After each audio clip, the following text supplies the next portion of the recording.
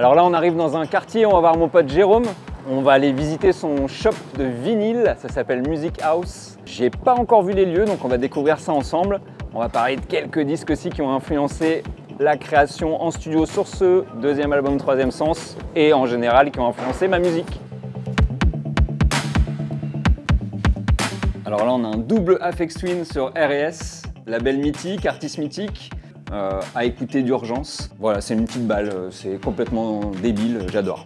Carl Craig, euh, Détroit, forcément. Détroit a toujours sa place dans la musique, pour le côté mélodique. You Are Dark, grosse tuerie. Forcément, mon premier album, Fréquence, sorti il y a 5 ans sur Astropolis Records. J'ai voulu garder un peu cet état d'esprit de proposer une playlist où l'auditeur peut écouter de A à Z.